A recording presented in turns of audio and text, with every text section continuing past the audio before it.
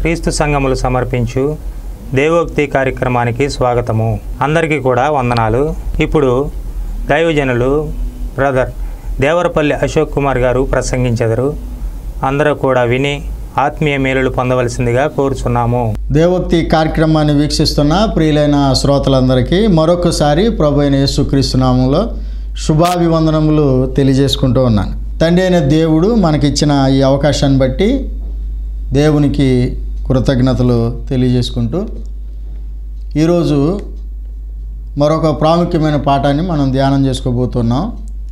గత వారంలో యేసుప్రభు యొక్క రాకడ ఇప్పుడు అనేటువంటి విషయాన్ని మనం ధ్యానం చేసుకున్నాం. ఈ వారము యేసుప్రభు రెండోసారి వచ్చినప్పుడు ఏమి జరగబోతుంది అనేటువంటి ప్రాముఖ్యమైన విషయాలు మనం ధ్యానం చేసుకోబోతూ ఉన్నాం ప్రభు రెండోసారి వచ్చినప్పుడు ఏమి జరగబోతుంది అనేటువంటి విషయాన్ని మనం ఆలోచన చేసినట్లయితే మొదటగా యోహాను సువార్త ఐదో అధ్యాయము ఇరవై ఎనిమిది ఇరవై తొమ్మిది చూసినట్లయితే దీనికి ఆశ్చర్యపడకుడి. ఒక కాలం వచ్చుచున్నది. ఆ కాలమున సమాధుల్లోనున్న వారు అందరూ ఆయన శబ్దం విని మేలు చేసిన వారు జీవ పునరుద్ధానమునకును కీడు చేసిన వారు తీర్పు పునరుద్ధానమునకును బయటకు వచ్చెదరు. యేసుప్రభు రెండోసారి వచ్చినప్పుడు అందరూ కూడా చనిపోయిన వారు తిరిగి లేస్తారు అనేటువంటి విషయం చాలా స్పష్టంగా తెలియజేయబడింది. మేలు చేసిన వారు కీడు చేసిన వారు కూడా వారు తిరిగి బ్రతుకుతారు అనేటువంటి విషయం తెలియజేయబడింది. అలాగే కొరింతీలకు రాసిన మొదటి పత్రిక పదిహేనవ అధ్యాయము ఇరవై మూడవ వచనాన్ని మనం చూసినట్లయితే ప్రతివాడును తన తన వరుసలోనే బ్రతికింపబడును.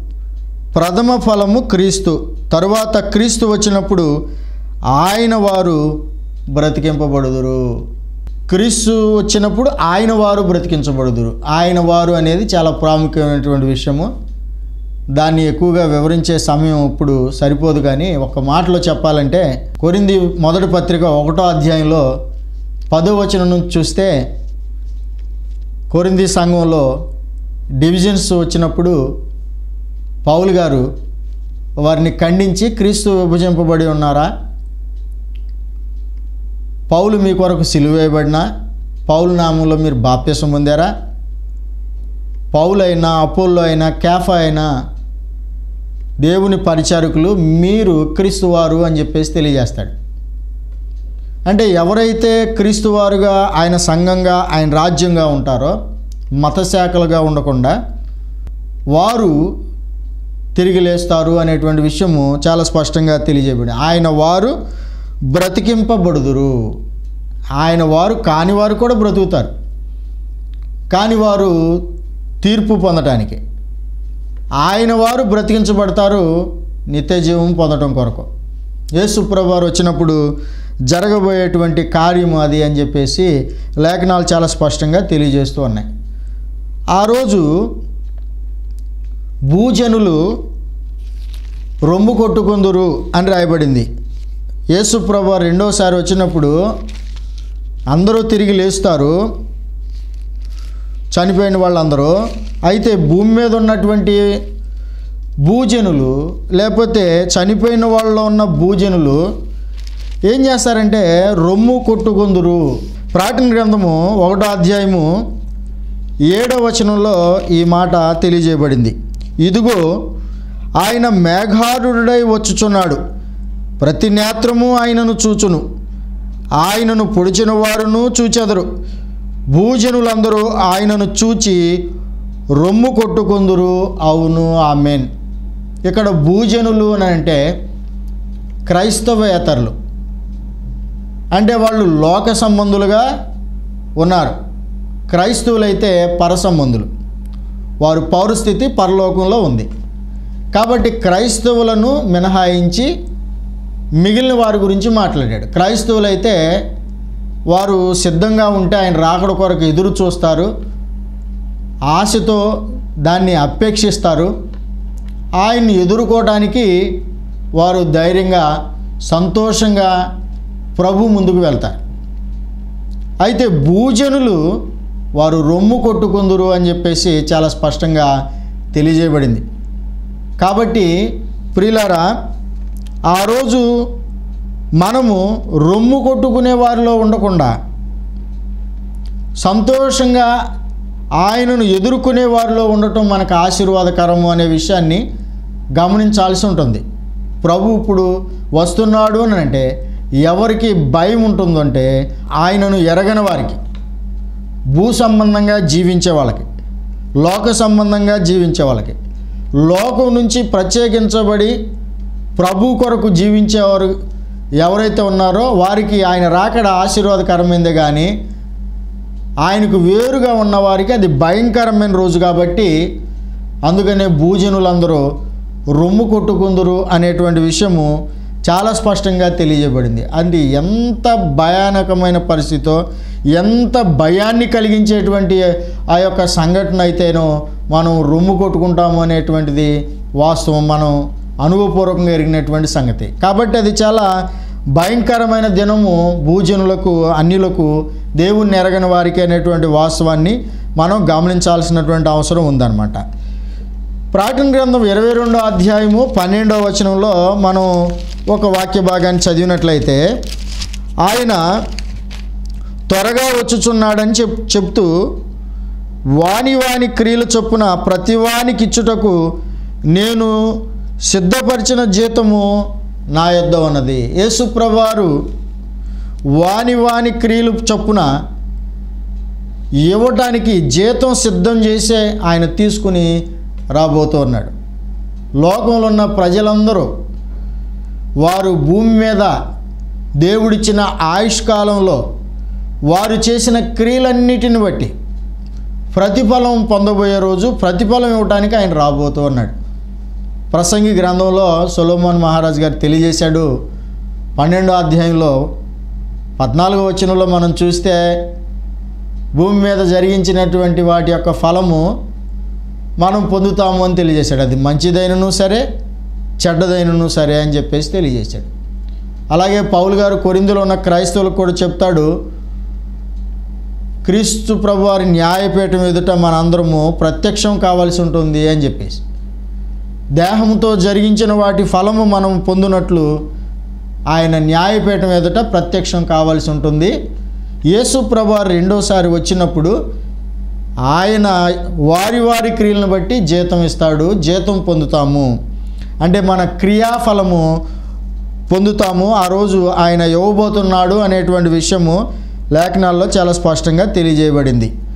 తెస్సలోనికలకు రాసిన రెండో పత్రిక ఒకటవ అధ్యాయము. ఆరు ఎనిమిది వచనాలు మనం చూసినట్లయితే ప్రభు అయిన యేసుక్రీస్తు తన ప్రభావమును కనపరచు దూతలతో కూడా పరలోకం నుండి అగ్ని జ్వాలలలో ప్రత్యక్షమై దేవుని ఎరుగుని వారికిని మన ప్రభు అయిన యేసు సువార్తకు లోబడిన వారికిని ప్రతిదండన చేయనప్పుడు మిమ్మను శ్రమపరచు వారికి శ్రమయు. శ్రమ పొంచున్న మీకు మాతో కూడా విశ్రాంతియు అనుగ్రహించుట దేవునికి న్యాయమే. యేసు ప్రభువారు తన ప్రభావం కనపరుస్తూ దోతలతో కూడా అగ్నిజ్వాలల్లో ఆయన పరలోకు నుండి ప్రత్యక్షము కాబోతూ ఉన్నాడు అనేటువంటి విషయము చాలా స్పష్టంగా తెలియజేయబడింది.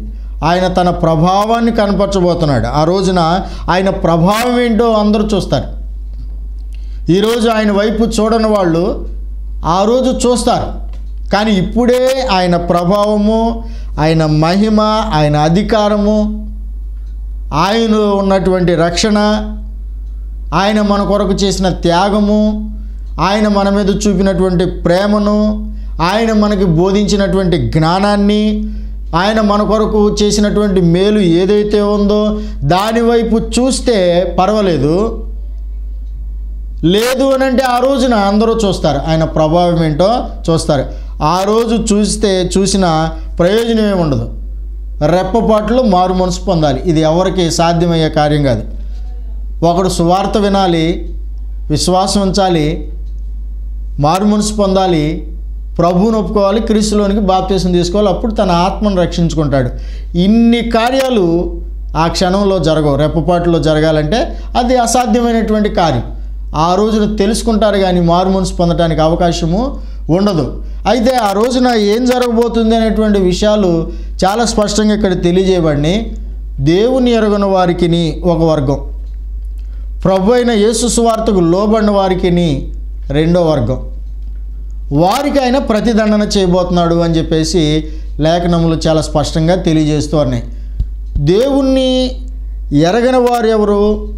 సువార్తకు లోబడిన వారంటే అది చాలా తేలిగ్గానే విషయం అర్థమవుతుంది. దేవుణ్ణి ఎరగని వారు ఎక్కడుంటారు? ఎలాగుంటారు? అని అంటే నిత్యము దేవుని పిల్లల పిల్లలము అనేటువంటి భావనతో విశ్వాసులము అనేటువంటి భ్రమలో దేవుణ్ణి మేము ఎరిగాము అని చెప్పిన చెప్పుకునేటువంటి వారిలో దేవుణ్ణి ఎరగని వారు ఉంటారు. వారి క్రియల వలన వారు దేవుణ్ణి ఎరగమనుచున్నారు. ఎరుగమను వారు అని డిక్లేర్ చేసి తీతు పత్రిక ఒకటో అధ్యాయం పదహారో వచనంలో అపోస్తులైనటువంటి పౌలు గారు తెలియజేస్తాడు ఆయన చిత్తానికి భిన్నంగా ఎవరైతే వారు జీవిస్తారో లేకపోతే బోధిస్తారో వారు కూడా దేవుణ్ణి ఎరగని స్థితిలో ఉంటారు. దేవుణ్ణి ఎరగని వారి లిస్టులో వాళ్ళు ఉంటారు.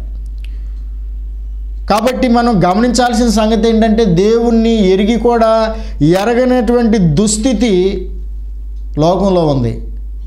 చాలా జాగ్రత్తగా మనం గమనిస్తే సంగతి అర్థమవుద్ది.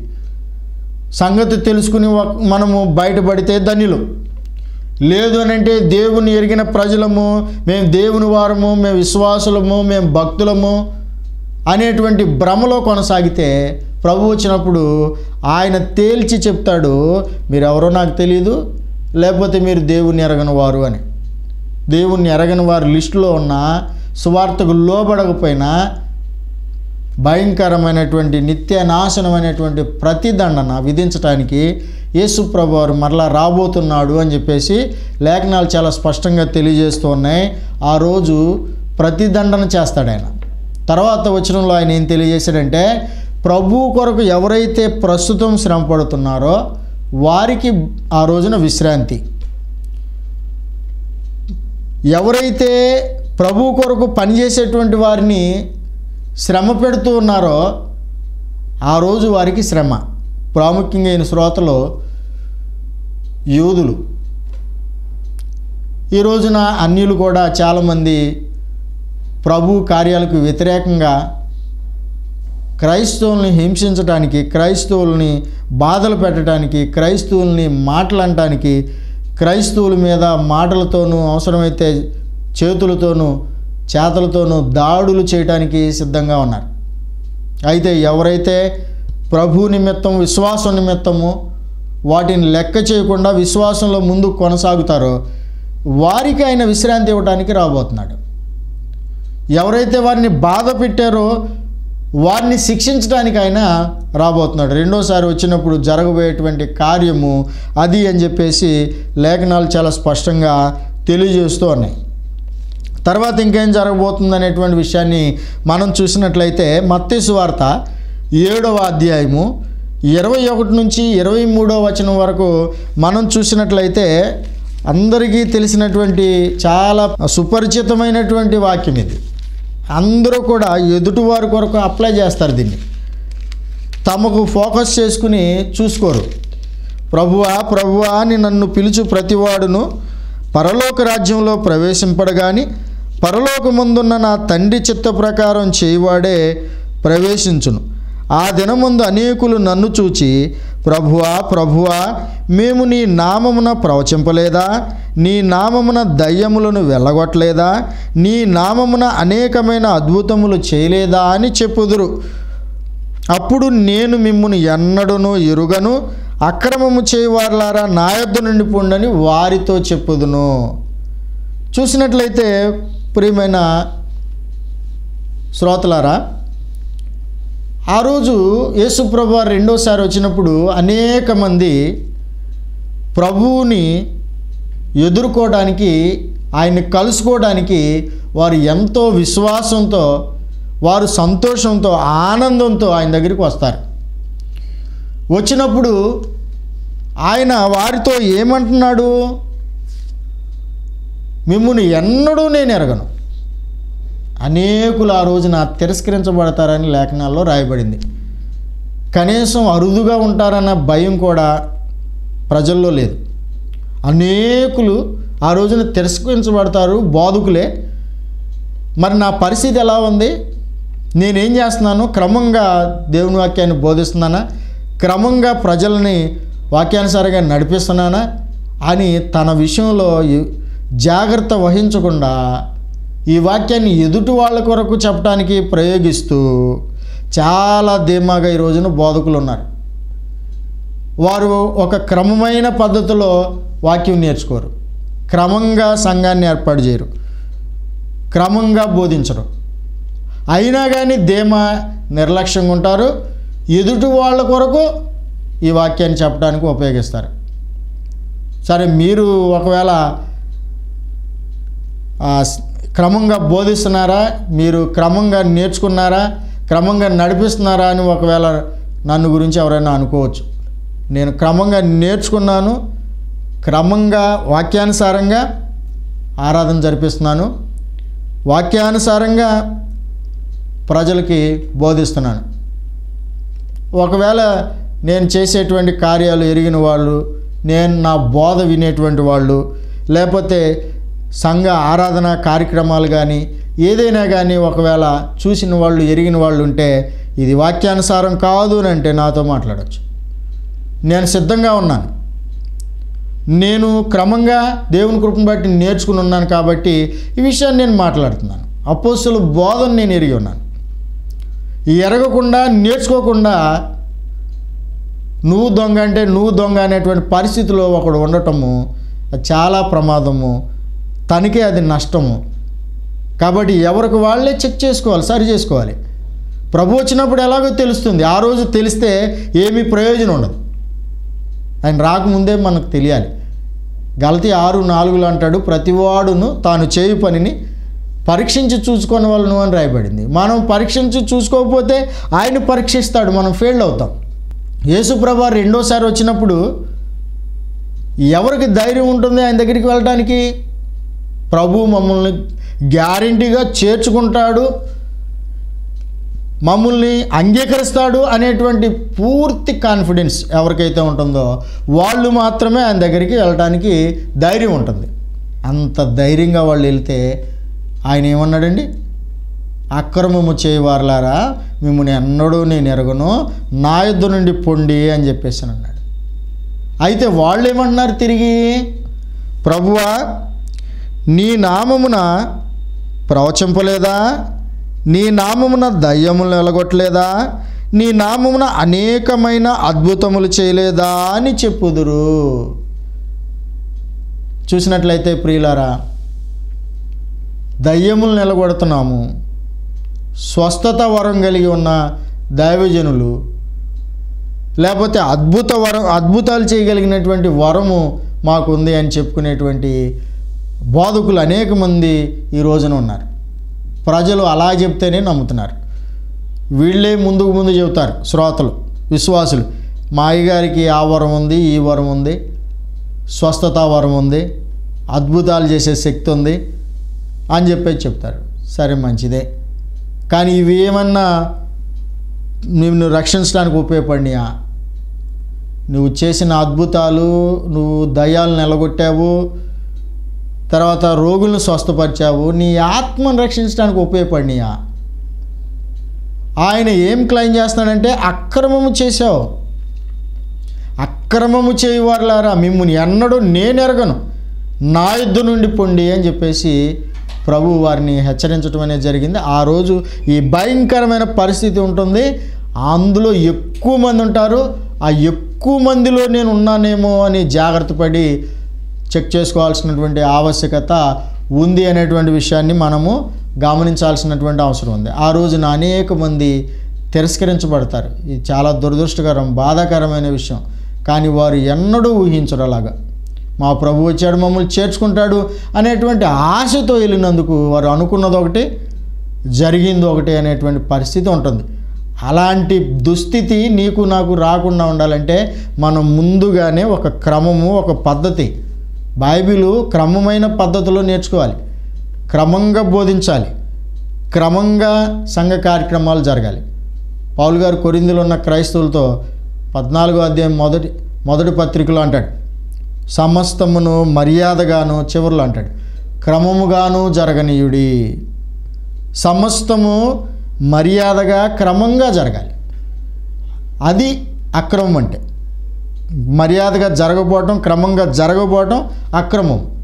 దీనిని తీసుకెళ్ళి రాజకీయ నాయకులు లేకపోతే లోక సంబంధమైనటువంటి దొంగలు దుష్టులు దుర్మార్గులు వాళ్ళు నడుచుకున్నటువంటి తీరుకు ఆపాదించినట్లయితే ప్రభు వారి గురించి చెప్పలేదు. లేకపోతే అలాంటి కార్యాల గురించి చెప్పలేదు. అవి ఒకవేళ అక్రమం అయితే అయి ఉండొచ్చు. ఇక్కడ సిద్ధాంతపరమైన డాక్ట్రిన్ దానికి సంబంధించినటువంటి విషయం మాట్లాడుతున్నాడు. బైబిల్ క్రమంగా నేర్చుకోవటము క్రమంగా బోధించటము అవసరం. అలా కాకపోతే అది అక్రమము అనేటువంటి వాస్తవాన్ని గుర్తించాల్సినటువంటి ఆవశ్యకత ఉంది అని ప్రభు పేరట నేను తెలియజేస్తూ ఉన్నాను. తెస్సలోనికెలికి రాసిన మొదటి పత్రిక నాలుగో అధ్యాయము పదిహేను నుంచి పదిహేడు వచనాలు మనం చూసినట్లయితే యేసు ప్రభువారు మరలా వచ్చినప్పుడు ఆయన ఎందు విశ్వాసం ఉంచిన వారు తిరిగి లేస్తారు. వారు ముందుగా మనకంటే సజీవులుగా ఉన్నవారి కంటే ముందుగా ఆయన ఎదుర్కోవడానికి ఆకాశ మండలానికి వెళ్తారు. ఆ తర్వాత సజీవులమై ఉన్నటువంటి మనం కూడా ఆయన ఎదుర్కోవడానికి ఆకాశ మండలానికి చేరుకుంటాము అని లేఖనాలు ఇంత స్పష్టంగా తెలియజేస్తుంటే బాధాకరమైన విషయము దురదృష్టకరమైన పరిస్థితి ఏంటంటే యేసు ఈ భూమి మీదకి కాలు పెడతాడు భూమి మీదకు వస్తాడు. ఒలీవలం అనబడిన కొండ మీద ఆయన కాలు మోపుతాడు. ఇలాంటి బోధలు చేస్తున్నారు. ఇలాంటి బోధలకి బైబిల్లో ఎలాంటి ఆధారం లేదు. ఆయన భూమి మీదకి వస్తాడని ఆయన కానీ అప్పుస్తులు కానీ ఎవరూ చెప్పలేదు. ఆయన మరలా రెండోసారి వస్తాడు. కానీ ఆయన భూమి మీద కాలు పెట్టేటువంటి పరిస్థితే లేదు. సంఘమే మధ్యాకాశానికి ఎత్తబడుతుంది అని చెప్పేసి లేఖనాలు చాలా తేటగా తెలియజేస్తున్నాయి కానీ అలాంటి బోధలు చాలా దురదృష్టకరం. అలాంటి బోధలో ఉన్నటువంటి బోధకుడు లేకపోతే విశ్వాసి మారు మనసు పొందాల్సి ఉంటుంది. తన తప్పు దిద్దుకోవాల్సినటువంటి ఆవశ్యకత ఉంటుంది. లేదు అలాగే మేము నేర్చుకున్నాము మేము అలాగే బోధిస్తాము అలాగే మేము నమ్ముతాము అని అంటే అలాగూ జరగదు. ప్రజల్ని మోసం చేస్తారు. మీరు కూడా మోసపోతారు. మిమ్మల్ని రక్షించుకుని ప్రజలకు మేలు చేయాలంటే లేఖనాల ప్రకారము మీరు విశ్వాసం కలిగి ఉండండి. లేఖనముల ప్రకారము క్రమంగా క్రమమైన సంఘంలో క్రమమైన ఆరాధన చేయాలి. అలాగే క్రమంగా ఉన్నదున్నట్టు బోధించాలి. లేని దాన్ని ప్రజలకు బోధించటము అది చాలా ఘోరం అది పాపము. దానికి క్షమాపణ కూడా ఉండదు. లేఖనాలు చాలా స్పష్టంగా ఆ విషయంలో హెచ్చరిస్తూ ఉన్నాయి. తర్వాత ఇంకా ఏం జరగబోతుంది ఆయన వచ్చినప్పుడు అని అంటే కొరిందులకి రాసిన మొదటి పత్రిక పదిహేను అధ్యాయము ఇరవై నాలుగో వచనంలో అటు తర్వాత ఆయన సమస్తమైన ఆధిపత్యమును బలమును కొట్టివేసి తన తండ్రి అయిన దేవునికి రాజ్యం అప్పగించును అప్పుడు అంతము వచ్చును అని చెప్పేసి రాయబడింది. తన తండ్రి అయినటువంటి దేవునికి ఆయన రాజ్యము అప్పగిస్తాడు రెండోసారి వచ్చినప్పుడు.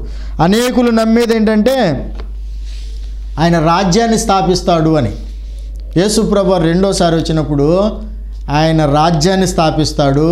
ఈ భూమి మీద వెయ్యేండ్ల పరిపాలన ఉంటుంది అని చెప్పేసి బోధిస్తూ ఉన్నారు నమ్ముతూ ఉన్నారు. దీన్ని ఎక్కువ మంది ఇదే బోధించే వాళ్ళు ఉన్నారు నమ్మేవాళ్ళు కూడా ప్రభుని నమ్మేవాళ్ళు కూడా ఎక్కువ మంది వీళ్ళే ఉన్నారు మెజారిటీ పీపుల్ అయితే వాస్తవంగా ఏం జరగబోతుంది? స్థాపించ ఆల్రెడీ స్థాపించబడి ఉన్న రాజ్యమును తీసుకుని తండ్రికి అప్పగించడానికి ఆయన రాబోతున్నాడు. ఆ రోజు ఆయన రాజీనామా చేస్తాడు. సమస్తమైన అధికారమును ఆధిపత్యమును కొట్టివేసి తండ్రి అయిన దేవునికి రాజ్యం అప్పగించును. అప్పుడు అంతము వచ్చునని లేఖనాలు స్పష్టంగా తెలియజేస్తున్నాయి పేతురు గారైతే భూమి భూమి మీద ఉన్న కృత్యములన్నీ కాలిపోవును. పంచభూతములు మిక్కుటమైన వేండ్రముతో లయమైపోవును అని స్పష్టంగా తెలియజేశాడు. భూమి ఉండదు. భూమి మీద ఆయన కాలు పెట్టడు.